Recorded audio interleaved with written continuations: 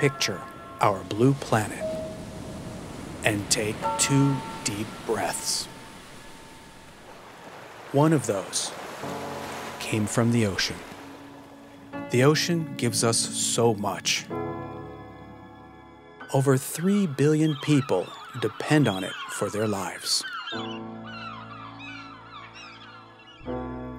It is vast and covers almost three quarters of our planet. But despite its scale, over time, we have taken too much. We are using the ocean more than ever before, often without regard.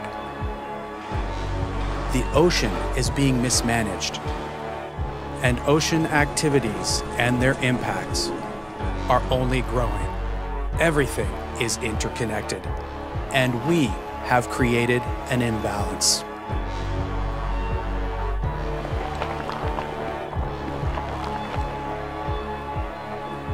Ever wonder who is working for the ocean?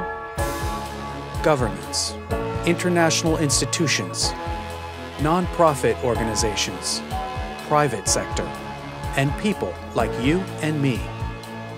There are many of us, and we are working towards the same goal.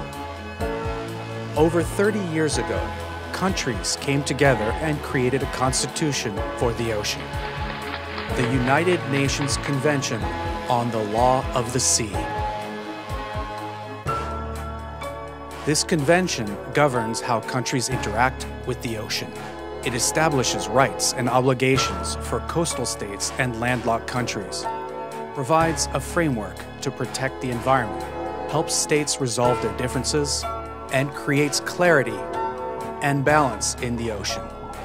It does so by dividing the ocean into zones and by defining different rights and obligations for states in each territorial sea, contiguous zone, exclusive economic zone, continental shelf, and the high seas.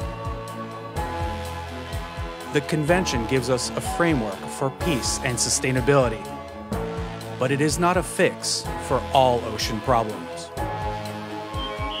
The ocean is one entity, and the problems in one part become problems for the entire world.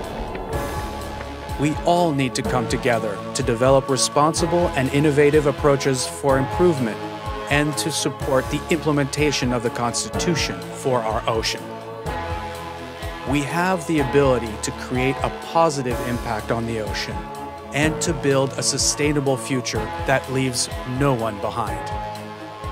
And we must, because we are all in this together.